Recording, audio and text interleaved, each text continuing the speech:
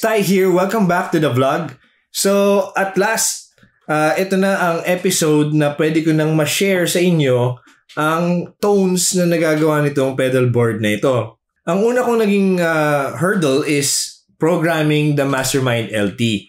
Pero isa lang ang masasabi ko sa inyo kasi before this hindi ko I have I had no experience with yung mga RJM na na pedals na ganito.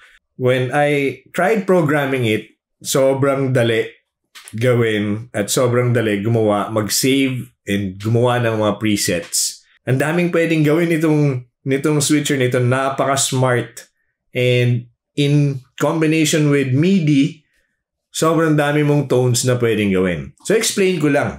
So one thing also nakalimutan ko sabihin sa inyo, yung yung Ruby and yung Dream reverse polarity kasi yung Ruby sa Dream kung wala kang uh, Daiso Plus na may polarity reverse feature, kailangan mo ngayon yung out ng XLR mo papunta sa mixer na kailangan i-flip niya yung polarity ng isang channel. So ito yung tunog ng nakapatayang Ruby and ang Dream.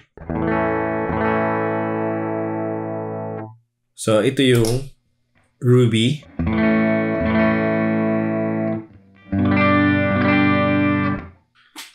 Ito yung dream.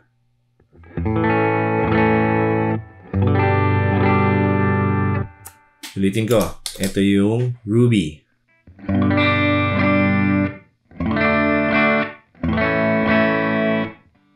Ito yung dream.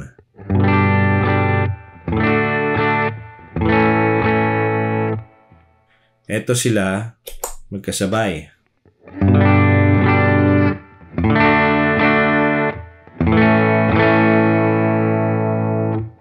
Ito ang tunog nila pag nakapatay yung polarity reverse.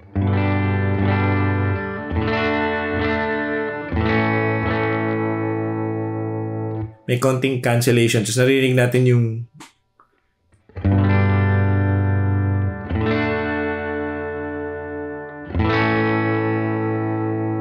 So para marinig natin na maganda, i-on ko yung polarity reverse with sasabay ko na may tunog ah. Yan. So, naka-polarity reverse na siya.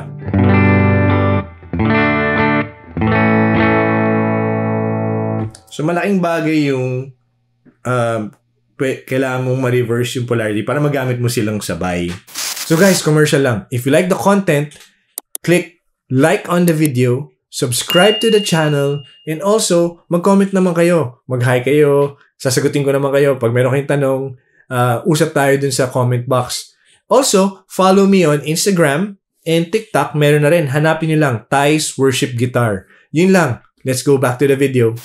Yung uh, character ng Ruby and yung character ng Dream, pag pinaghalo mo sila, maganda yung tunog eh. So, pakinggan natin kung anong tunog niya. So, ito. So, not very clean kasi yung amps na ginamit ko may konting ano na gain na siya. Pero pag binabaan mo yung volume mo, magki-clean up siya ng maganda. Yan. Or kapag hininaan mo yung kaskas mo, hindi masyado magda-drive. Pero pag kinaskas mo ng malakas, may konting hair sa tone. Huli yung ano, yung worship tone eh. Kunyari, gamitin natin dito sa All Hail. Meron siyang parang dotted 8 eh.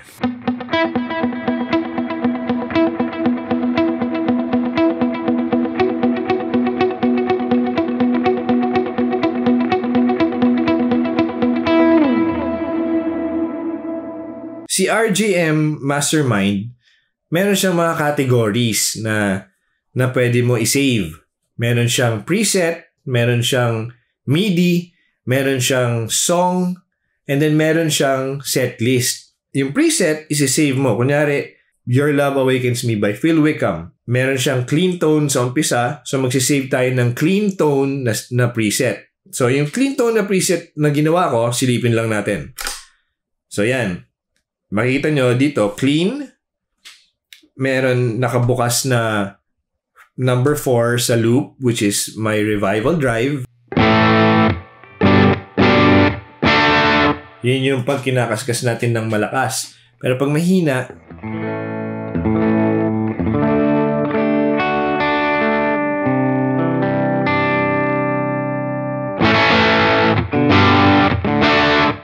Let's go to the King of Tone.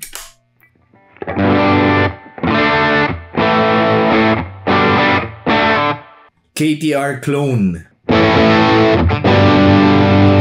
Kasi pwede siyang pang ano mga solo.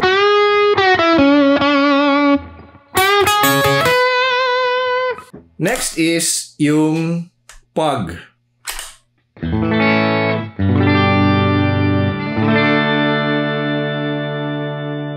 Pakinggan natin sa neck. So, yun yung mga tones na nagagawa ko dito. Hindi ko pa siya masyadong napa-perfect. So, um, I'm going to share with you some samples na meron kasamang uh, backing track. So, pakinggan natin to.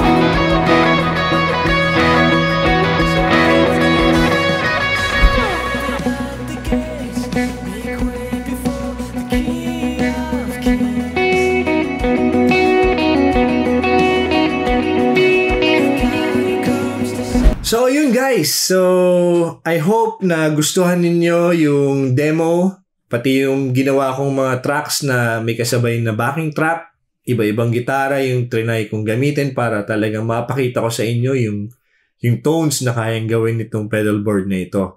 And I wanna thank also yung mga tumulong sa akin dito ulit. eh, Evo pedal board, Gitrig, and Pinstripe pedals. Maraming salamat sa inyo. Thank you very much. And excited ako kasi ah, gagamitin ko itong pedal na ito sa aming Resurrection Sunday. So kung mabot kayo dito sa ending ng episode nito, maraming salamat. Ah, if you like the episode, may like button dyan. Pakiclick lang. Subscribe to the channel also, please. And I'll see you in the next one. This is Ty. Bye!